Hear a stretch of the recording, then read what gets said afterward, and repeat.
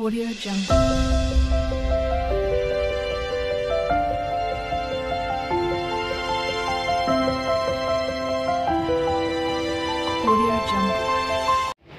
Lunch में बना था डिनर सॉरी, लंच में बना था एक बिरयानी जो मैंने बनाया था और मुझे खुद बहुत ही ज़्यादा प्राउड हो रहा था क्योंकि ये बहुत ही ज़्यादा टेस्टी और बहुत ही ज़्यादा डिलीशियस बना था।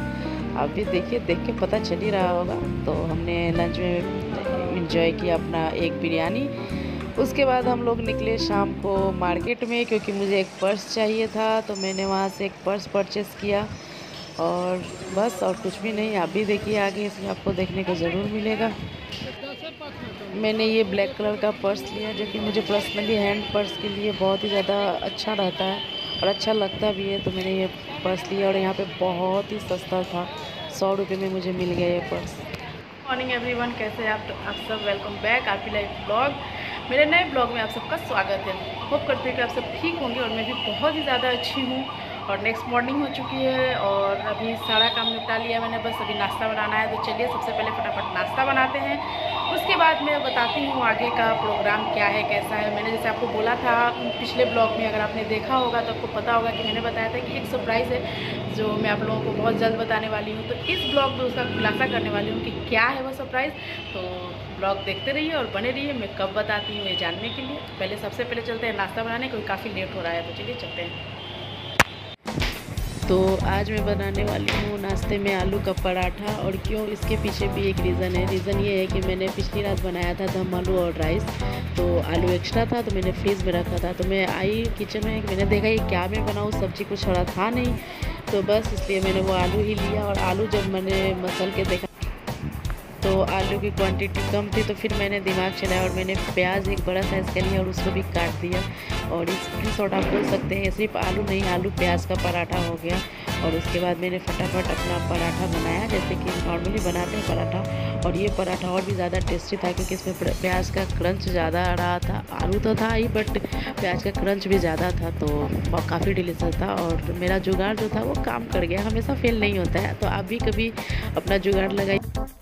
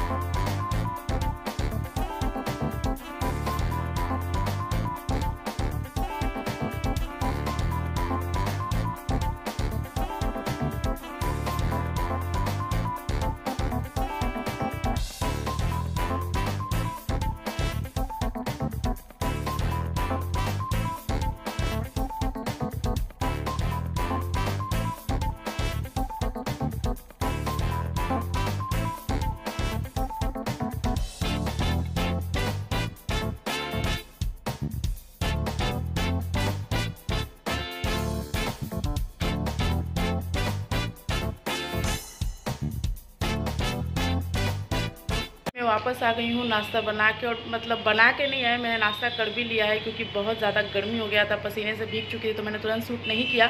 मैंने नाश्ता वगैरह सब फिनिश कर लिया है और बहुत ही ज़्यादा यम बना था मतलब आलू प्याज का पराठा।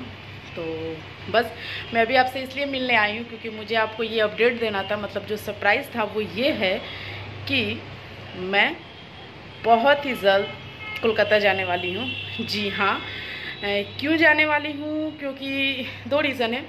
पहला ये कि दुर्गा पूजा आ रहा है और बहुत सारे लोगों को पता ही होगा कि दुर्गा पूजा मतलब कोलकाता। कोलकाता का दुर्गा पूजा कितना ज़्यादा फ़ेमस है, आप सबको ही पता है। और मैं शुरू से वहाँ रही हूँ। वहाँ का पूजा घूमी हूँ तो मैं ज़्यादातर चाहती हूँ कि मैं वहाँ पे ही दुर्गा पूजा इंजॉय करूँ। बट हर बार तो नहीं जा पाती हूँ बट हाँ इस बार जा रही हूँ। पिछले बार मैं नहीं गई थी बट इस बार जा रही हूँ। और थोड़ा पहले जा रही हूँ, क्योंकि मेरा बर्थडे भी इस बार है। मतलब मेरा जन्मदिन भी तीस सितंबर को है और दुर्गा पूजा भी पहले से स्टार्ट हो चुका रहेगा। तो मैंने सोचा कि जब जाना ही है दुर्गा पूजा घूमने तो क्यों ना थोड़ा पहले ही चला जाए। तो बस तो दुर्गा पूजा घूमने के लिए और और भी बहुत सारी चीज़ें जो आगे आपको पता चलेगी ब्लॉग में। और जब मैं वहाँ जाऊँगी तो होपफुली बहुत दिनों तक आपको वहाँ के ब्लॉग देखने को मिलेंगे। तो इसलिए मैं गई थी, पिछले ब्लॉग में आपने देखा होगा कि मैंने बैग भी एक ख़रीदा था, जिसकी मुझे ज़रूरत थी पैकिंग वगैरह के लिए। तो बहुत जल्द उसका भी ब्लॉग आने वाला है, क्योंकि मैं बहुत ही जल्दी जाने वाली हूँ। बहुत नज़दीक आ चुका है टाइम जाने का। बट मैंने पहले नहीं बताया, मैंने सोचा कि मैं जब जाने वाला दिन नज़दीक आएगा, तब मैं आप लोगों को बताऊँगी तो आप लोग समझ सकते हैं कि जाने वाला दिन नज़दीक आ चुका है और मैं बहुत ही ज़्यादा खुश हूँ। तो सबसे पहले फटाफट मैं पैकिंग करूँगी और आज पैकिंग शुरू करते हैं क्योंकि ज़्यादा दिन जाने में बचा नहीं है। तो चलिए पैकिंग की शुरुआत करते हैं, उसके बाद में आपसे मिलती हूँ। है और दोपहर हो चुकी है और मैं बहुत थक गई हूँ और भूख भी लगी है तो मैं सबसे पहले जाती हूँ लंच बनाने। तो चलिए बिना किसी देरी के लंच बनाने चलते हैं।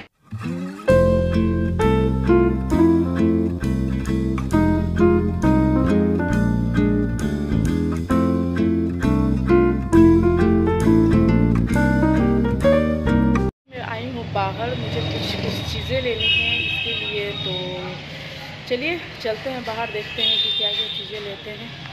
और बने रहिए इस ब्लॉग में। मैं थोड़ा लो फील फील कर रही हूँ क्योंकि मुझे थोड़ा सा फीवर लग रहा है, इसलिए मैं बहुत ज़्यादा एक्साइटेड वाला मूड नहीं दिखा पा रही बट कोई नहीं, काम तो करना है तो फिर चलिए, चलते हैं।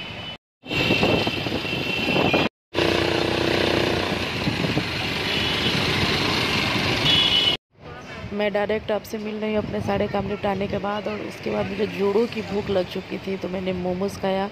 आज मैंने बहुत खाया ही है इस ब्लॉग में, आप लोग मुझे खाते हुए ही सिर्फ़ देख रहे होंगे।